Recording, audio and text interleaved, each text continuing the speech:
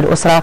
وإن شاء الله سوف نطرح عليكم الجديد والمفيد في هذه الدواء بداية قبل أن نبدأ موضوع الحلقة اليوم إن شاء الله أريد أن أنوه إلى نقطة هامة جدا وهو آه، سوف نلتزم من هنا وصاعدا بموضوع الحلقة الذي سوف يطرح آه، الحلقة المباشرة تحديدا لأنه آه، حسب ما جاءتنا من تعليقات أن موضوع الحلقة يبتر ولا يستكمل. فبالتالي إذا كان لديكم أي تساؤل في إطار موضوع الحلقة حياكم الله على الأرقام المدونة أسفل الشاشة. الآن سوف أبدأ على حضراتكم موضوع الحلقة وإذا كان لديكم أي تساؤل في هذا الإطار حياكم الله ونستقبل كلماتكم إن شاء الله بعد قليل. موضوع الحلقة هو الابن العاق وخطوط الرجعة مع الابن العاق. بعد أن تقطع كل خطوط الرجعة مع الابن العاق وتقفل أبواب التواصل معه وتشح ينابيع مشاعر الدفء العائلي ويحل محلها الغضب والحزن واليأس. بعد كل هذه الانكسارات النفسية قد يطفو على السطح حنين وشوق لإعادة فتح الطرق المسدودة مع الابن العاق. وحينها تمتد الأيادي لتصافح من حرق القلوب ونغص نفوسا اكتوت بنار العقوق المستعر. ولكن هل كل الطرق المسدودة تفتح هكذا مرة واحدة بكل بساطة بدون تروي أو ترقب رياضة الفعل؟ أم أن هناك آليات معينة لفتح تلك الطرق المسدودة مع الابن العاق؟ هذا هو موضوع حلقتنا اليوم. سوف نناقشه مع دكتور إبراهيم الخليفي المتخصص في سيكولوجية النمو وتطبيقاتها التربوية فنرحب بحضرته السلام عليكم دكتور حياك الله. عليكم السلام ورحمة الله وبركاته. الله يحييك. آه تبتسم إن شاء الله. جبتني المقدمه الله يبارك فيك. ممتازة. الله يبارك فيك دكتور. أه نبدأ يعني إحنا تكلمنا عن ابن العاق وعقوق الوالدين وعقوق الأبناء وعقوق الوالدين أيضا تكلمنا في نعم حلقات نعم. سابقة. لكن لم نتطرق إلى هذا الموضوع. كيف تفتح الطرق مع الابن العاق؟ على اعتبار دائما الابن العاق يعني واحد شال إيده منه معاق انتهى الموضوع. مم. تفتح الطرق؟ بسم الله الرحمن الرحيم. الحمد لله رب العالمين والصلاة والسلام على سيدنا رسول الله وعلى آله وصحبه الطيبين الطاهرين.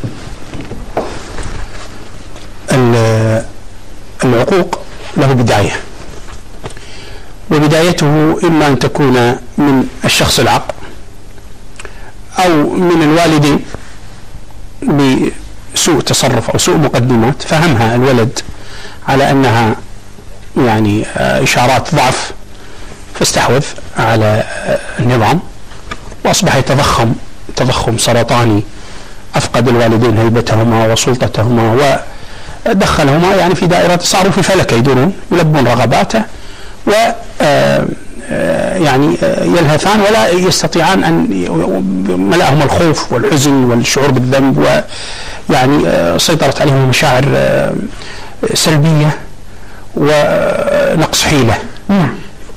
أو أنه يكون من الاثنين مشترك يعني عاده هو يكون من الاثنين يعني.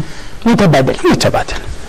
العقوق المتبادلة نعم. للمجاز للتعليم. نعم. المشترك المشترك القاسم المشترك في كل الأولاد العاقين أن لديهم ذوات ضخمة. وهم أنواع. فهناك من الأبناء من حقيقة يفاجئ أهله بعقوقه. وهذه نسبة 30% العام الماضي في يعني قبل سنة وشوية اكتشفوا أن أكو مركب جيني في نقص آه، في نقص حفظ الخبرات الأليمة عند بعض عند نسبة من الناس. نسبة من الأولاد نسبة منها بسيطة يعني. بس هو يزيد وينقص. حوالي 30% من ابناء المجتمع. بس عند بعض الحالات يكون نقص متطرف. يعني هناك أولاد لا يستفيدون من تجاربهم السلبية بحيث أنهم يصبح العقوق عندهم أو تجاوز القانون حالة متكررة بسبب أنهم لا يحتفظون ما عندهم ما عندهم الخبرة للاحتفاظ بالخبرات الأليمة حتى ما يعيدوا يكرروها. وعادة سبحان الله هذه الصفة عفوا الرقم يعني نسبة قليلة ولكن 30% من هؤلاء 30% من هؤلاء الذين لا يحتفظون بالذاكرة يكونون في منتهى الهدوء بحيث أنه لا يلفت نظر والديه على أنه في مشكلة. حتى يفاجئهم إذا وصل الثانوي 14 15 سنة بأن أكو داخل هذا الصامت مشروع انحراف كبير كان ينمو ويتطور يفاجئهم الولد بسلوك غريب. هاي نسبة يعني من العاقين الذين لا يحتفظون بخبرات سلبية. يعني ما عنده ذاك الاحتفاظ بالخبرات معلش حتى يعني الولد مثلا الآن ال- سبحان الله إحنا أقول لك الأولاد الأشقياء العفاريت. اللي يتحرك كثير وكذا وكذا ويؤنب أو يضرب أو كذا. عادة عادة. يكرسك مرة مرتين ثم يرتدع. يكرر باب التحدي. ثم يرتدع إذا كان في كل مرة يعمل ويحصل ألم يقف. نعم. أكو أولاد؟ لا. مستعد يكرره عشر مرات عشرين مرة إلى لا نهاية. لأنه الألم بالنسبة له تساؤل يعني بعدين لو كررت ثانية إيش حيحصل؟ وماذا بعد؟ ماذا بعد؟ وما عنده مشاعر. ما عنده هو هو وجده أنه ما في المادة التي تحتفظ تخت المادة الكيميائية التي تختزل التجربة مش موجودة. يعني لا يوجد مراسي للخبرات. ما في ما ترسي نعم. الخبرات ما تصف. ما عندها مينا ما عنده مينا في مخه. هذا العام الماضي يعني 2007 بدأ الكلام حول هذا. وطبعا ضج التربويون كان نتيجة هذا ال ال ال ال اكتشاف. الاكتشاف. من أنه طيب إذا ما جدول التعليم؟ قال لك لا. يبدأ يعاملوا كأنهم autistic children يعني كأنهم أطفال متوحدين. يعني يعاملوا بنوع من الضبط القسري. ومن هؤلاء يخرج ال- القتلة اللي هم ال serial killers ال serial killers فيهم مزية انهم هادئين يقتل بدم بارد. دم بارد. اي بس هذا يعني بنسبه قليلة. هناك من أولياء الأمور من يتصل بنا يقول ابني فاجأني يا دكتور مين معقول هذا الولد الصامت الهادئ الملتزم؟ يخرج من هذا الشر؟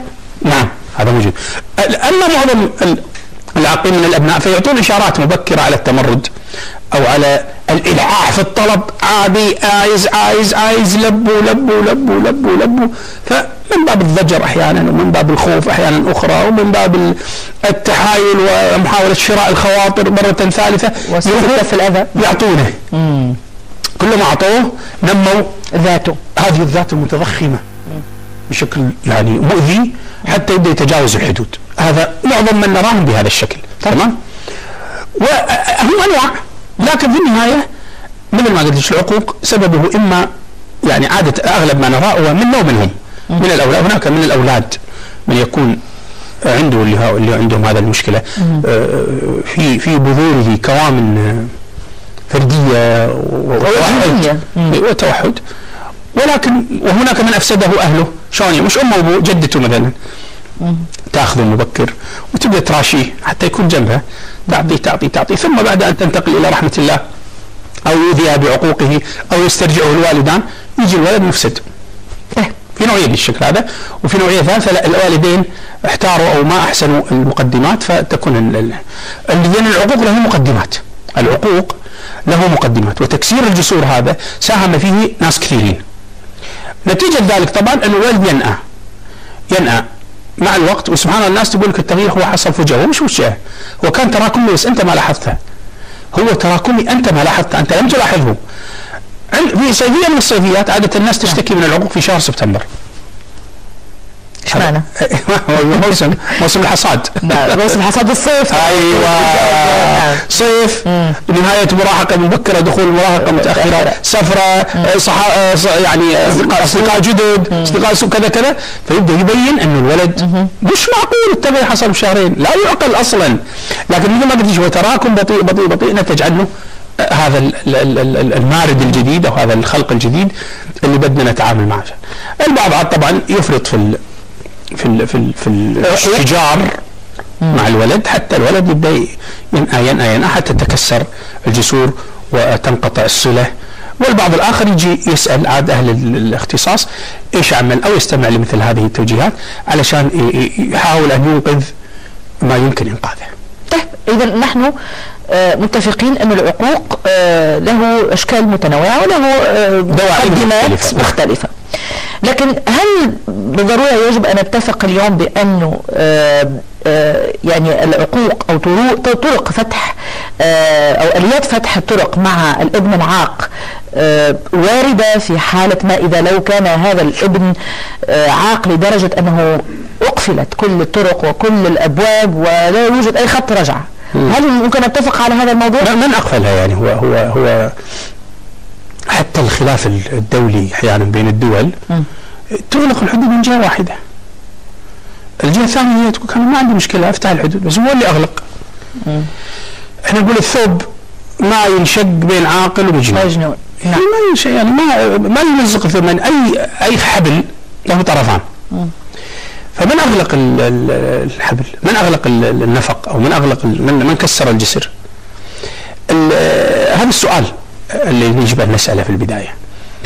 ال- مرة ثانية أشكال انقطاع الصله أنواع. هناك طفل أو شاب مراهق قطع كل صله بوالديه ما يبي يسمع منهم أي شيء بس لا يزال يرى مصالح عندهم.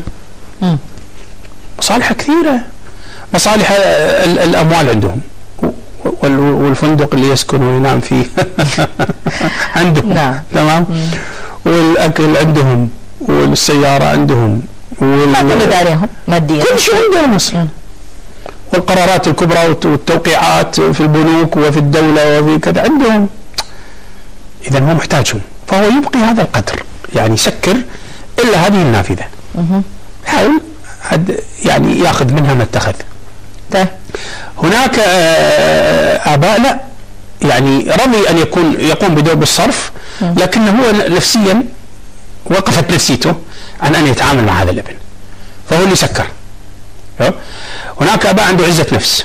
هناك آباء عنده حيرة. هناك آباء يعني يعطي إشارات متناقضة. مرة إذا أقبل ابنه فرح فرحا شديدا.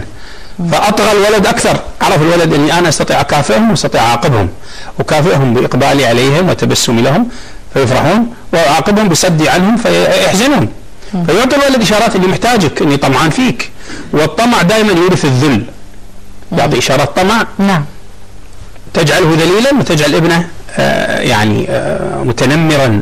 زين ف مرة ثانية طريقة ال- ال- القطع والتسكير والاختناقات أيضا مختلفة. مختلفة. مختلف اذا طيب بما أن كونها مختلفة دكتور واليوم موضوع حلقتنا هو اليات فتح الطرق نعم. المسدودة. اذا دعني أسأل السؤال بش- بشكل مختلف. حلو.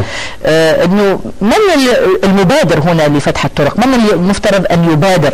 هل المبادر هو الأب الابن أم المصلحة؟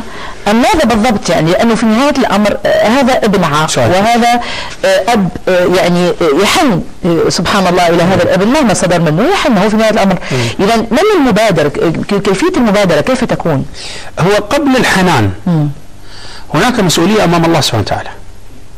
هناك آه، في يوم القيامة كل يقول نفسي نفسي. فأنا حقيقة آه، آه، يعني الآباء عادة إذا إذا فكر بهذه الطريقة إني بهذه يعني بهذا- بهذه المأزق بهذا المأزق وهو أني أنا لا أريد أن أسأل عند الله فأجيب جواب ناقص. أريد أن أستنفذ كل وسائلي حتى أعيد الولد إلى آه، صوابه. أو وأنا لن أستطيع أن أهديه يعني. أنا أنا ما أقدر أهديه. أنا أقدر أسعى. قالوا معذرة إلى ربكم ولعلهم يتقون. زين؟ فأريد أن أعذ- أعذر أمام الله عز وجل. فانا أعتقد إنه ال- البداية تكون من الآباء. البداية لازم المبادره تكون من تكون من الاباء طيب ما إحنا في حالات قليلة. فقط ولد. في حالات قليلة في حالات قليلة. ننجح في أن تكون المبادرة من الأبناء. بس لازم قبل يكون الولد اقتنع من أنه مخطئ وأنه عاق. هذا عادة لازم الولد يكون له تغيير جذري مثلا. يكون يكون أصدقائه فجأة يعني لأمر ما يخصه أو مصيبة أو انتهاء. موسم رمضان كذا اهتدى وعرف أنه لا والله أنا كنت أخطأت. ويعني طقت عصا الهداية مثل ما نقول. فهذه حالات قليلة تبدأ ترميم الجسور من الأبناء حالات قليلة. أو يكون كبر عقل نضج نعم. فيبي يصلح. لكن اللي نتكلم عنه اليوم هو مطلب على الآباء ان أن يحققوه طيب خلينا نتكلم عن هالجانب. مطلب الآباء إنه كيف كيف تكون المبادرة وكيف تكون الآليات لإعادة فتح الطرق؟ سبحان الله يعني قد تكون قد تكون هداية هؤلاء الأبناء على يدين ابائهم يعني والله يهدي من يشاء شيء طبيعي ولكن قد يهدى على يد كبير جدا يعني. مم. يعني أنا وصلت 90% إن الأباء ينجحون. إذا هم أخذوا الشروط الصحيحة نمشي في الشروط نمشي في. الشروط الصحيحة. نبدأ. إن شاء الله. آه هو أول الشروط الصحيحة آه أن أن يبدأ الأب آه، يعرف قدر نفسه. يعرف قدر نفسه. آه يحترم نفسه. لأن الولد ما تجاوز إلا لإحساسه بأن الاب هذا غير محترم بالدرجة الكافية لا حد يزعل هيزعل علينا أنا كده تقول هالكلمة أضحك صراحة ليش تضحكين؟ ليش تضحكين؟ يعني التعبير في حد ذاته قاسي على الأب آه، مالي مالي أنا أنا أنا أب غير. مم. أنا لما أرى من ابني أنا حين أكلمكم أنا مالي شغل في غيري أنا لما أشوف من ابني تجاوز أو ارتفاع نبره صوت أسأل نفسي ما هي الإشارة التي اوعت لابني أن أنا غير محترم؟ أنا حين اكلمك مالي شغل في الناس اكلمك عن نفسي حالي يعني أول ما أحس إن ابني ارتفعت نبرته أو سمعت منه نبرة يعني فيها تجاوز ما أكلمه أقول هذا ما رأيته هو مؤشر لي أنا في شيء بدر مني خلى ابني يطمع فيني إيش هو؟ وأبدأ أسأل وغالبا ما أكتشف مم. آه أنا أكيد أنا تجاوزت في الموضوع الفلاني أو ارتفعت نبرتي في الموضوع الفلاني أو تساهلت في الموضوع الفلاني أو أخطأت في المكان الفلاني ولا أعتذر مم. فهو انتفاضا لكرامته راح أخذ مني هذه ال- يعني أخذ من من مني مسكها ممسك. آ- آ- آذاني مم. هذا الأذى. آه، إيه قلتم أن هذا كله من عند أنفسكم دائما يعني النص القراني واضح. وقت الأزمة اسأل نفسك إيش اللي غلط عندي؟ حتى تصلحه. لما يلمس الولد لما يلمس الولد انه أن أمه وأباه يبذلان الوسع لإرضائه. دون أن يكلف نفسه أن يرضيهما وهم قابلان بذلك يعني هم ونهاية نهاية النهاية محاضرات. يقولون له أنت وكذا يعيدون نفس الموعظة. انه ما يسمع إيش يقولون. الصمت يشوف الفم يتكلم لكنه ما, ما, ما يرد. على طول يلقى في روع الولد أن هذول طمعانين فيني. هذول أصلا أنا أستطيع الآن والانسان سبحان الله العظيم من صفاته أنه طاغي. صفة لازمة. مم. قول الله عز وجل كلا. إن الإنسان لا يطغى. استرعى انتباهنا بهذه الآية. كلا. إن الإنسان لا يطغى. أن رآه استغنى. رآه شنو يعني؟ ضمن مصالحه وامنها خلاص. خلاص يحول يصير نسوي له قواقع فاضية يعني. فضينا وينطلق إلى اللي بعدنا. فهنا نقول للاب لا لا لا, لا استرجع مادتك استرجع كيانك استرجع عنفوانك استرجع ذاتك. اسمع أنت لا تستنزف أنت ما تحس أنت قاعد الولد هذا قاعد يمتصك ك كطفيلي قاعد يخلص سوائلك ويخلص كرامتك وأنت ما تحس. ارجع ارجع سكر ابدأ فكر بنفسك. فكر بنفسك. هذه أول نقطة. فكر بنفسك. لأنه مرة ثالثة ورابعة وخامسة. وإحنا جايين في الطيارة قبل شوي. قال عنده هبوط أقنعة الأكسجين. إن شاء الله ما احتجتها لا إن شاء الله ما نحتاج. زين. لا ابدأ بنفسك أولا ثم اهتم بمن حولك. والنص واضح. في كل شركات الآيات تقول الآيات تقول هذا. اهتم أنت بنفسك. فإحنا على نظام الآيات. نقول للأب أولا إذا أردت أن تعدل أي أزمة اهتم بنفسك أولا. راجع نفسك أولا. صن كرامتك أولا. اعرف حدودك أولا. اعرف إيش لك. ما اعرف إيش لك هو ما يعرف الأب إيش له. لا يعرف أنه يملك هذا البيت اللي يسكن فيه الولد ويملك هذه الدراهم اللي ينفقها الولد ويملك السيارات اللي يتنقل فيها الولد ويملك القرار اللي يتحكم في مصير الولد. أحيانا إلى 18 وأحيانا إلى 21 وأحيانا إلى نهاية العمر. في بعض الأمور لها اشتراطات إنه م- زي الزواج. وينها لك؟ لأنه انشغل بهذا الابن العاق وانشغل شغل بتصرفاته. انشغل بالمفقود نعم. ففقد الموجود. أحسنت.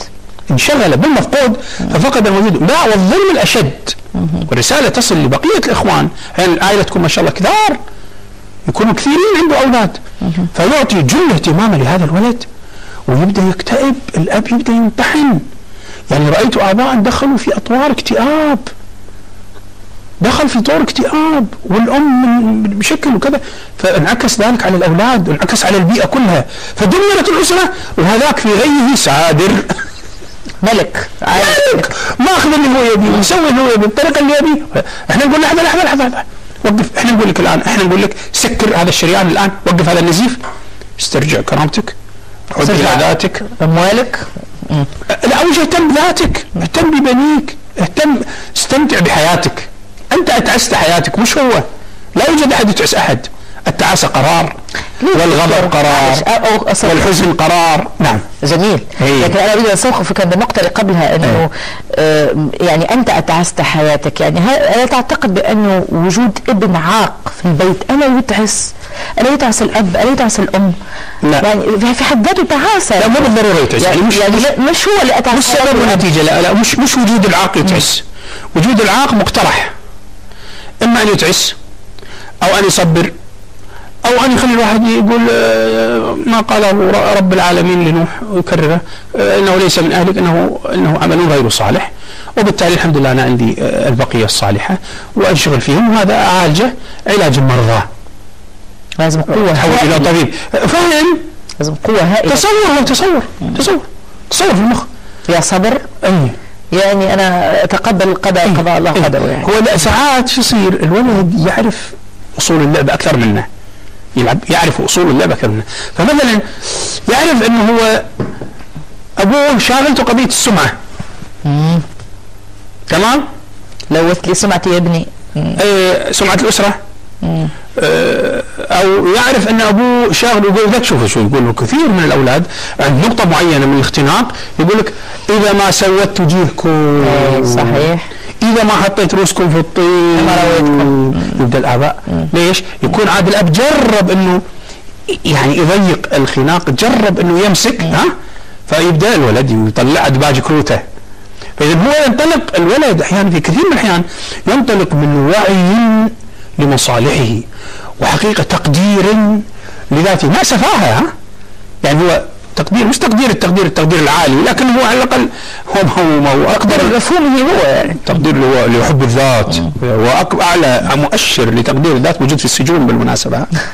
بحوث علم النفس تقول ان انواع اعلى ال self esteem في الدنيا موجوده تركز في السجون ك group لانهم من كثر ما هم أقوياء وقادرون تجاوزوا القانون وقتلوا الخوف ما عندهم مشكلة يعمل أي حاجة. فالولد وصل إلى شيء من هذا إن شاء الله إن شاء الله ما يكونوا وصلوا لهذا لكن إلى شيء من هذا. في حين أن الأب منتهب منتهب تاكله المخاوف والأحزان والشعور بالذنب و و فدائما اللي اللي يرضى غير اللي ثابت. اللي يكون أقوى. أكيد. واحد يكون حارس مرمى واحد عنده ثاني شوت. والثاني يكون ثاني شوت. نعم نعم.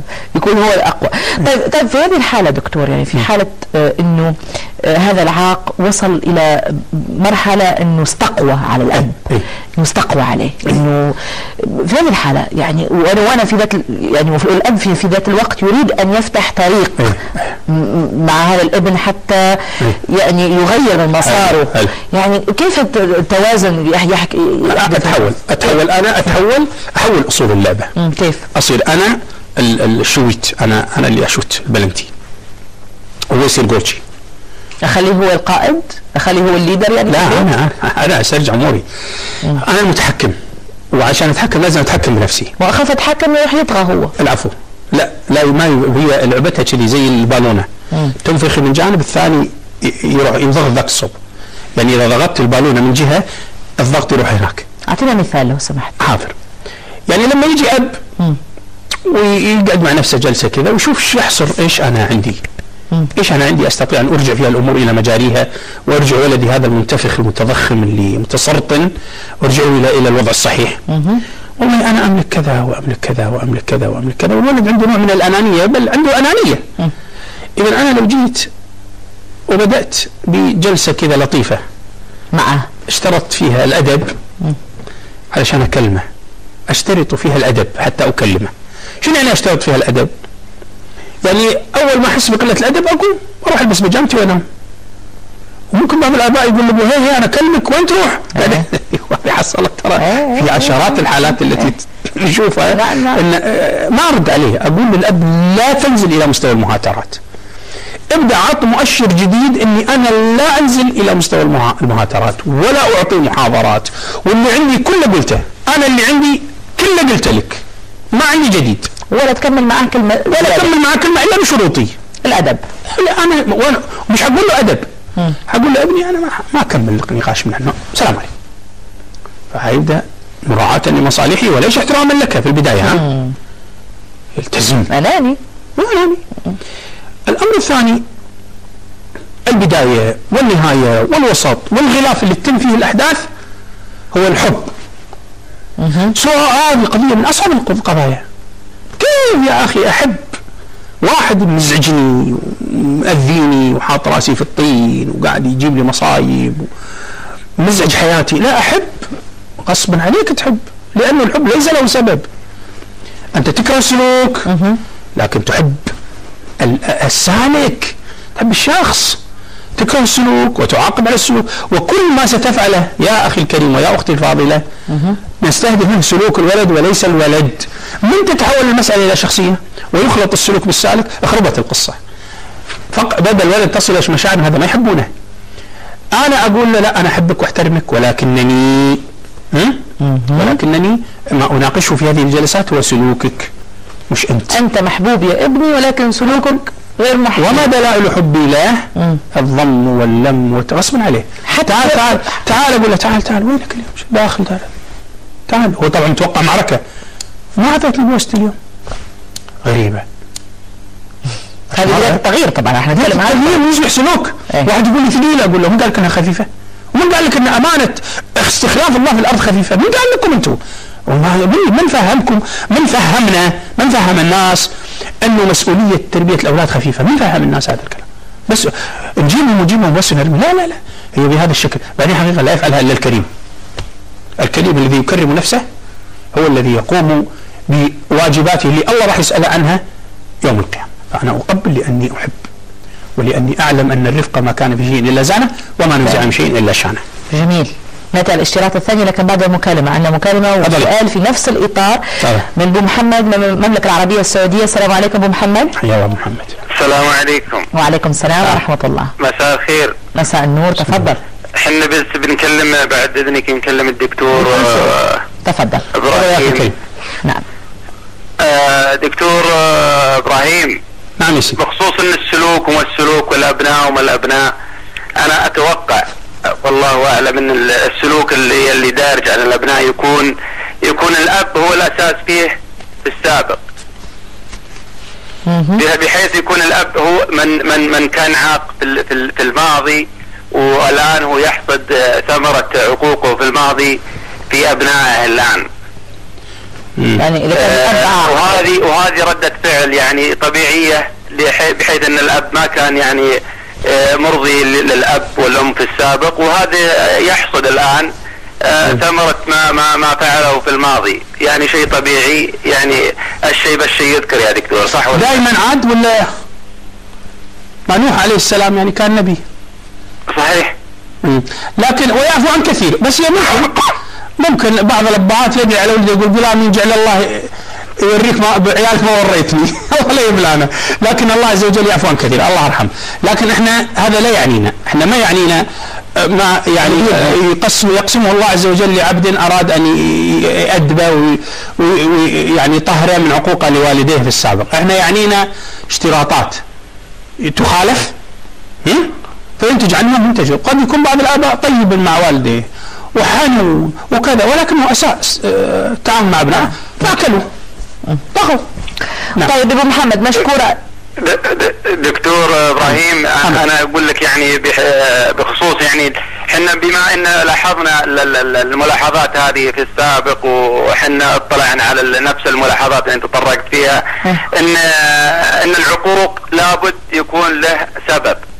لا لا شك لا شك سبب يكون سبب لا شك. السبب هو في في في في في في الشخص الشخص نفسه. يعني يعني مستحيل يكون واحد بار في والديه ويطلع له ابن واحد يعني عاق لا والله لا مو مستحيل يعني. مش لا إحنا. مختلفين. لا مو كل شيء. وارد يا أبو محمد. لا وارد أنه يكون مست... بار بوالديه ولكنه مسيء في تربيته لأبنائه إما دلالا لهم لهم أو آه، قسوة عليهم.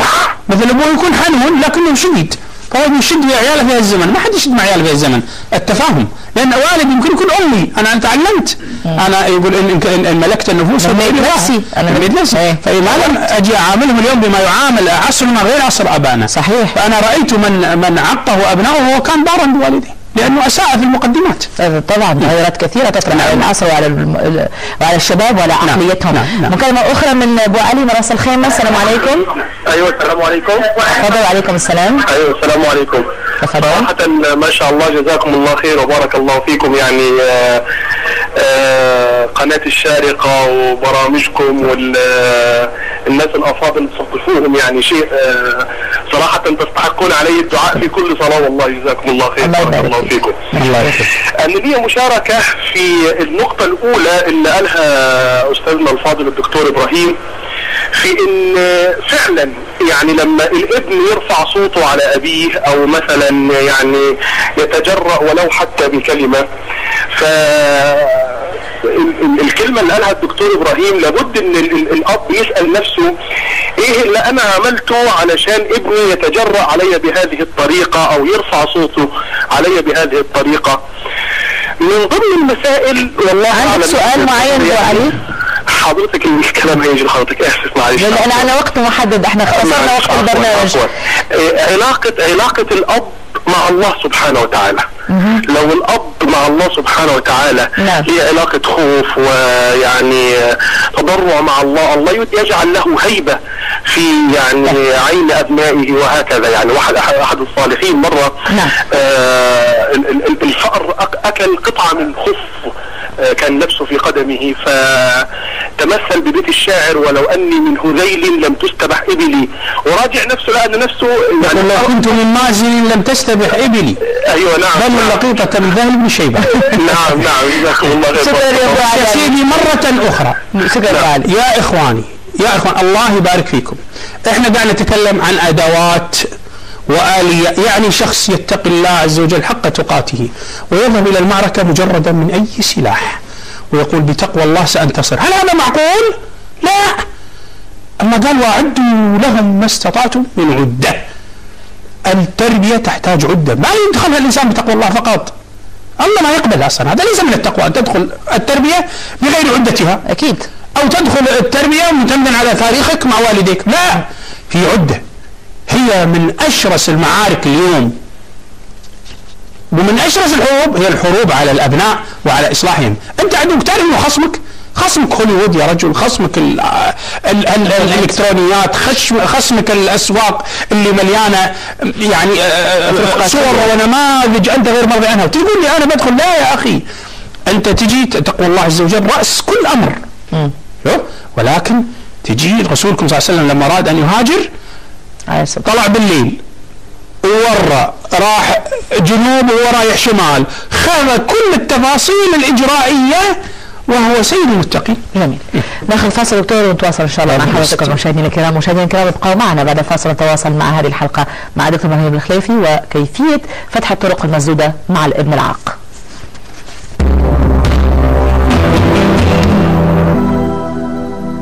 حياكم الله من جديد. مشاهدينا الكرام ومتواصلين معكم مع برنامج موسوعة الأسرة مباشرة مع دكتور إبراهيم الخليفي. وأعيد وأذكر السادة المشاهدين الكرام الراغبين في التواصل معنا. يا ريت التواصل يكون في موضوع الحلقة على الابن العاق. دكتور نعود إلى الاشتراطات آه، التي بدأنا فيها قبل قليل، أول شيء حضرتك قلت أنه الأب يجب عليه أن يحترم نفسه أو يحترم ذاته. نقطة ثانية. قلنا المحبة ها؟ محبة يا ستي. والمحبة هي دائما نقول أنها أرصدة. مطلوب منها أن تتحرك وتستثمر في الخارج. إذا تمت ها في في في, ال في القلوب دون أن تخرج? هذه يعني تكون آه، ميتة محبة ميتة. هناك حب ميت. حب الأب أريد أن يخرج طبعا بعض المحبة تحول إلى حقد خاصة إذا الولد الأب حول الشيء إلى أمر شخصي وكره ابنه لأن الابن هذا زي ما قلنا يعني آه آه، يعني حط روسنا في الطين و و إحنا نقول لا أنت حدد أن خصمك في هذه المسألة هو سلوك ابنك وليس ابنك وقم آه بواجب المحبة نحو ابنك قلبا من القلب وقالبا. وهو الأقل أهمية. في القلب أقل أهمية. الأكثر أهمية هو السلوك الظاهر. الاحترام والتوجيب. والتكنية يعني حتى لو كان قلبي يعني مش راضي ولا قلبي مثل ولا قلبي يعني متألم. مثل مثل مثل أمثل أنا. ولك في. مضيفي. ولك في مضيفي الطيران أسوة حسنة. أي والله يتبسموا ويخدمون وأذهب بالطيارة دكتور. لا أنا لا شرح رايح جاي هذا جاي. الأسبوع. زين لكن نشوف لما يجي يتبسم لي ويعطيني وكذا كذا يا أخي يعطيني يشعرني يعني ضروري يحبني. أنا ما أنا أنا بدي بدي أقول بدي وجه البشوش. وبدي ال- يقول يقول يقول آه، آه، بشاشة ها وجه المرء. خير من القراء خير من الأكل والطعام. نعم. فكيف يقريك وهو بشوشه فاذا أنت أنت ما دام تؤدي الخدمة لهذا الابن وبعد يتنعم بفضل الله عز وجل عليك في بيتك وفي كذا آه، يعني آه، وري انه ماكو شيء شخصي. ما زلت ما زال لأن الأولاد هذول صغار. هم صغار يتصرفون بالت- بالتجربة والخطأ.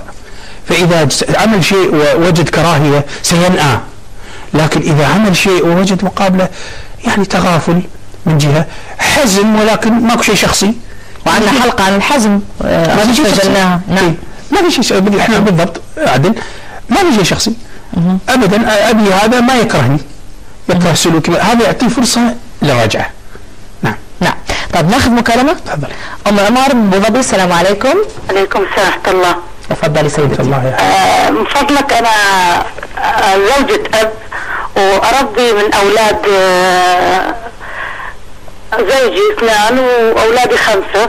ولكن آه، لما مرحلة صار البنت مثلا لما صارت في مرحلة جامعية يعني بدت آه، ما أعرف هل هو عقوق أو أنه تصرفها. يعني هل أنا تعتبر إذا هي خالفتني أو رفضت أشياء معينة آه، تفرضها العادات والتقاليد والأسرة آه، هل هي عاقة إلي أو أنا آه، لا أعتبر أم لها لأن أمها موجودة. أنا سؤالي بديتي تربينها من عمرها كم؟ آه، تقريبا عشر سنوات. بديتي جسور مودة وكنتوا أصدقاء؟ نعم نعم في مودة وفي حب وفي اتصال يعني وبعدين آه، عندك في البيت؟ نعم. عندك في البيت؟ لا هي الآن مش عندي في البيت هي انفصلت عنا في سكنة سكن لوحدها منفصل هي تدرس بجامعة خارج إمارتنا وانفصلت في سكن لوحدها. ما هي ما هي مسؤوليتك هي؟ نعم يعني هي مسؤوليتك؟ يعني- أنت تناصحينها كصديقة. هي ولي أمرها ابوها نعم وأمها مسؤولة عنها؟ نعم وعصبتها يعني أعمام عرفتي؟ والأخوال من جهة الأم. هي إنت ذات الغير انت امراه متطوعه في يعني لا تهلكي نفسك؟ نعم. لأن أول شيء تحددين المسؤولية الشرعية. تقومين بالنصح. تستثمرين الود لا شك. تبنين الجسور. ماكو شيء شخصي. لا تكثرين النصيحة. إذا تحسي أن النصيحة غير مجدية واستبدليها برسالة حب ومودة وكذا وكذا حتى تكونين أنت احدى خطوط الرجعة في حال أن البنت نأت إنما نبهي آه، أبوها إلى بعض التجاوزات بدون أيضا بشكل عاقل يعني مش ها؟ خل ما تفهم إن أنت حرضتي الأب. واحفظي آه، مواردك لتربية من لديك أم عمر من عجمان السلام عليكم. عليكم السلام ورحمة الله. تفضلي. يعطيكم العافية وشكرا كثير على هالبرنامج. الله يعافيك.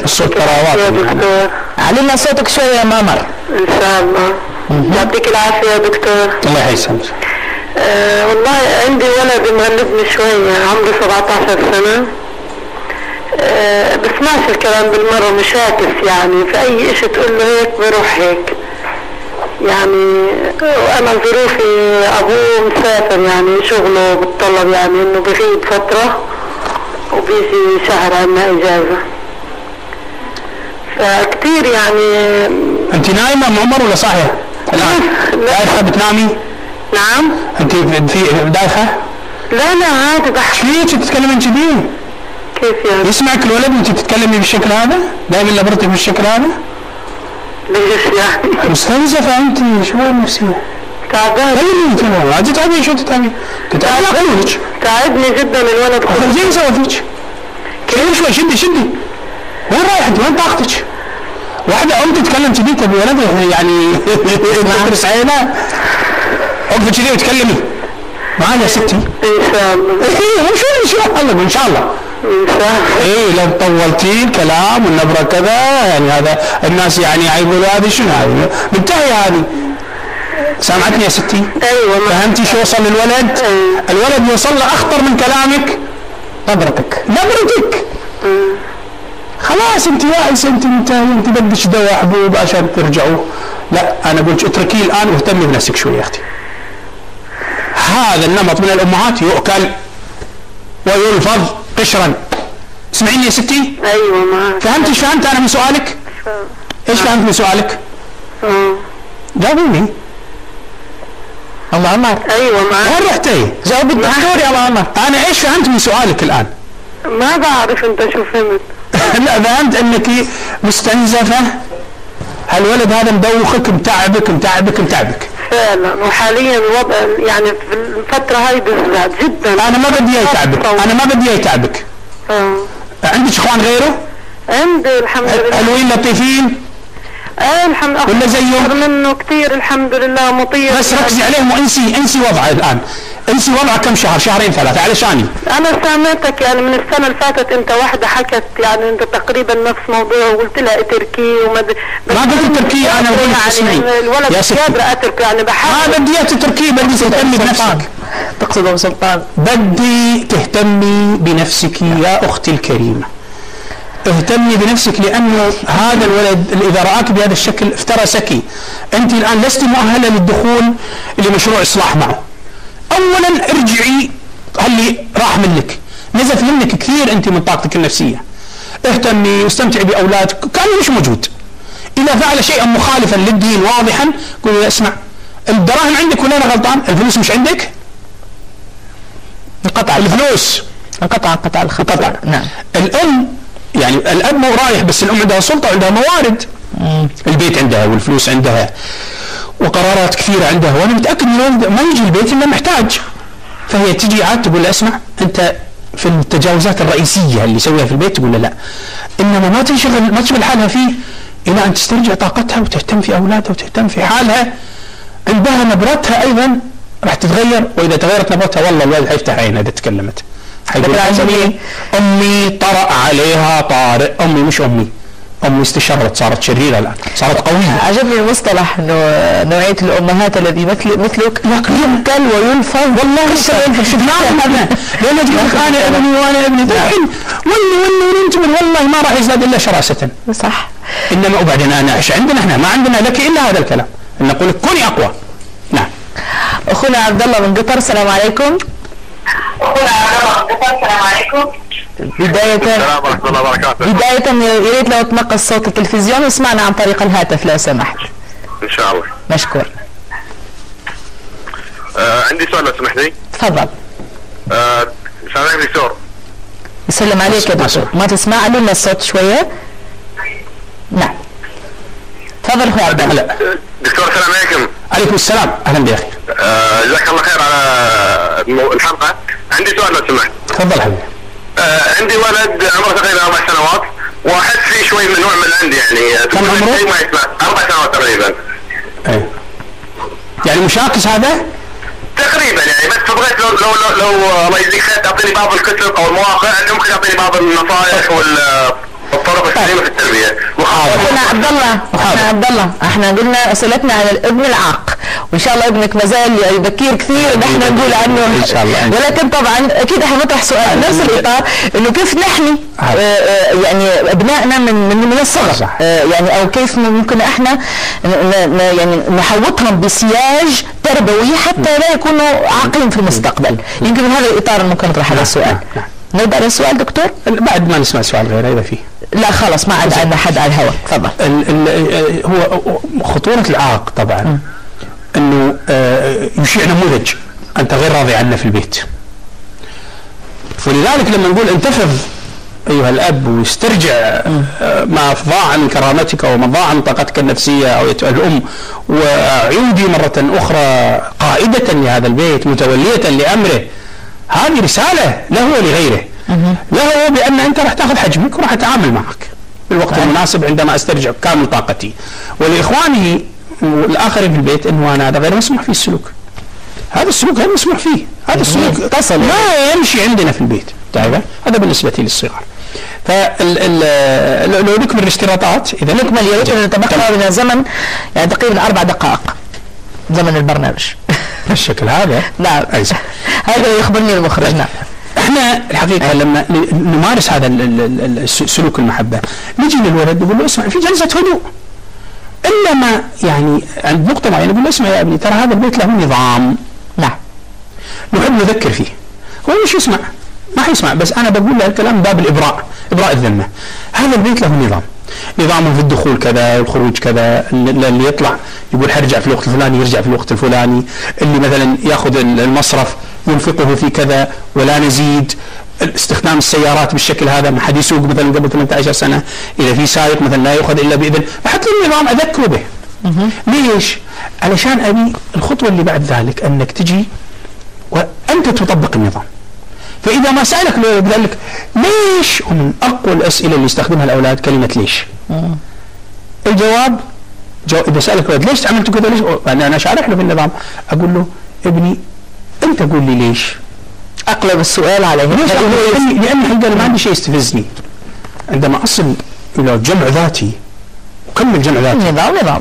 اي أقول له ما جاوب أقول ليش؟ ما ترى ليش؟ أقول له والله يا ريتك تجاوبني. أنت تعرف ليش؟ موجود. أنت تعرف ليش؟ ما أبي أسأل أحد من إخوانك أبي أسألك أنت. فراح يبطل يقول ليش.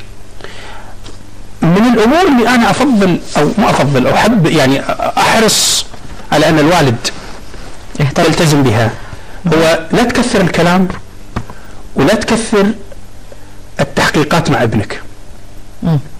لأنه ابنائنا الأبناء اللي وصلوا لهالحد من العقوق ما يحترمون كلامنا عندما يصل الابن إلى هذا فاضية. يعني اتكلم قصة كلام تدبر وهو ما يشوف. لا تكثر الكلام. إذا أردت أن تقول شيئا فحضر له. واحذر أن تسأل أسئلة غير ذكية. لأنه من الأسئلة غير ذكية كلمة ليش؟ ليش سويت كذي؟ يقول لك لأنك أنتم ما أعطيتوني لأن أصلا كل الناس يسوون كذي لأن أي طبعا لكن لكن يقول له مثلا أنا أنا مرة اب يعني يحكون بمجموعة من الآباء انه يقول لك الابن مثلا يقعد يومين برا البيت يسهرني أو يتعبني أو يدوخني لدرجه أقول له وين كنت؟ ليش سويت كذي؟ فيجاوب قلت له لا إيش رايك تسأله؟ ابني أنا بهاليومين تعبت وما نمت آه هذا الحال هذا الحال اللي أنا وصلته يجعلك سعيد؟ هذا سؤال فيه مأزق. إن قال إيه؟ هاي قلة حياة يعني خ- معناه استحق اي شيء يجي مني. يعني آه، وإن قال لا معناها أنا ما أحتاج أعلق بعد. شوف أكو أسئلة لو أحسنت نحتها وتجسيدها وإلقاها عليه صرت أنت المتحكم في الموقف. وأكو أسئلة من تسألها تفقد كرامتك. مثل ليش؟ ومين؟ وين كنتوا؟ أنا أحيانا بعض الأولاد ما أسأله وين كنت لاني اعرف إنه سيكذب. فيش داعي اضيع وقت. يعني إذا مرة أخرى حتى نرمم من كسر لا يعني الترميم سيكون خلطة كبيرة خلطة كبيرة وفيه نوع من التعقيد. أولها الهدوء النفسي والاستقرار. ثانيها المحبة. ثالثها حسن إدارة اللعبة. رابعها البيان البيان الواضح بالمعلومات الواضحة للمطلوب من الولد اللي هو النظام. والصبر على ذلك بعدين يجي الحزم. والحزم سيستغرب الابناء إنه عندما تكتمل الاشتراطات ويبدأ يحزم حيشوف إن ولده بدأ يتقلص. يتلملم. بدأ يتلملم. يتلملم. لأنه حيعرف إن مصالحه في طاعة هذا الوالد الحازم الجاد الواضح الذي ما عاد الاولي مو مو ليس هو أبي الأول وهنا نكون فتحنا قناة نعم. فتحنا قناة وعدنا الولد لكن في خطورة طبعا هني أن الأب يستمرئ الحزم وهذه إحنا خصصنا لها حلقه خصصنا لها. فيبدأ شو يسوي؟ يبدأ يهجم هجوم مضاد قد يدمر الولد. فهني نقول أيضا التوازن مطلوب. لا تنسى المحبة، لا تنسى الصداقة، يعني اقفز من الحزم إلى أن تكونا صديقين. طيب. هل هالكلام نظري؟ لا والله. والله أنه مجرب وأنه نفع وأن آباء تحولوا من أناس. يقول للولد هو يقول يقول, أقول له كلمة عمره 15 سنة أقول له يا ابني ادرس. يقول لي أنت بتقلب وجهك ولا لا؟ يلا يلا واخر عني. الاب الابن يقول لابيه إلى أن أصبح الآن الابن يمشي ظلا لأبيه. من كثر المحبة والصداقة بينهما، ليش؟ لأن الأب أخذ بهذه الاشتراطات. هناك آباء عملوا البلاوي والهوايل لما استرجع الآباء الأبناء قصدي عملوا البلاوي لآبائهم ولأمهاتهم لما استرجعت الآباء والأمهات استرجعوا قواهم وطبقوا هذا الأمر فتحت القناة وأصبح الولد? نعم يعني آه نجحت ال ال ال ال ال الحمد لله الوصفة وأعاد الولد آه امنا إلى سربه. شكرا جزيلا لك دكتور إبراهيم الخليفي بارك الله فيك وإن شاء الله الاشتراكات هذه تصل السادة المشاهدين الكرام وتنفعهم بإذن الله. شكرا أيضا لحضراتكم آه، مشاهدينا الكرام والشكر أيضا لكل من آه، ساهم في اسره برنامج موسوعة الأسرة واللقاء يتجدد بحضراتكم إن شاء الله الأسبوع المقبل. إلى ذلك الحين لكم مني أجمل تحية والسلام عليكم ورحمة الله وبركاته.